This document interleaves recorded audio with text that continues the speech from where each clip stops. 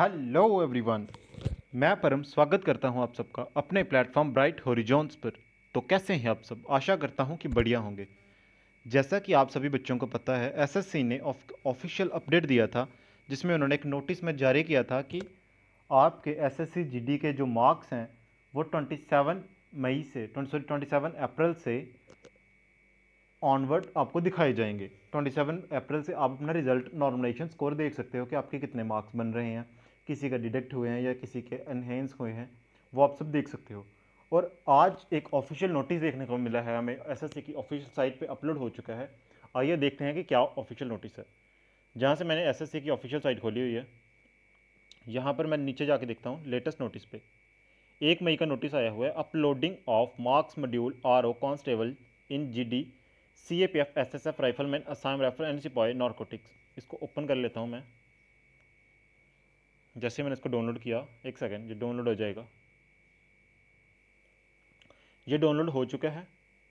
इसको ओपन करते हैं हम।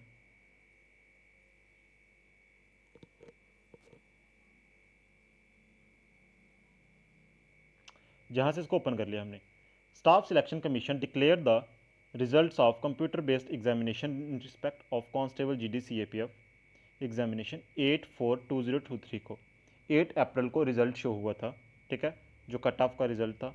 और इन्होंने बोला हुआ था कि candidates were available to website commission सत्ताईस अप्रैल से ट्वेल्व मई तक वो अपने मार्क्स देख सकते हैं कि आपके कितने मार्क्स बने हुए हैं। ठीक है, उसके साथ ही candidates are hair Y inform इन्होंने कहा कि कैंडिडेट्स को इन्फॉर्म किया जाता है कि due to other ongoing examination जो ऑन गोइंग एग्जामिनेशन चल रहे हैं, जैसे अभी एस एम टी एस का एग्ज़ाम आने वाला है एम टी एस का एडमिट कार्ड आ चुका, चल रहा है।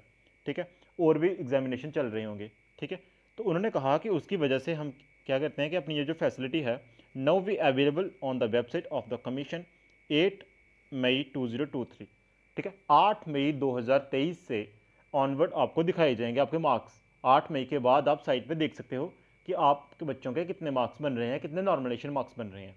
ठीक है?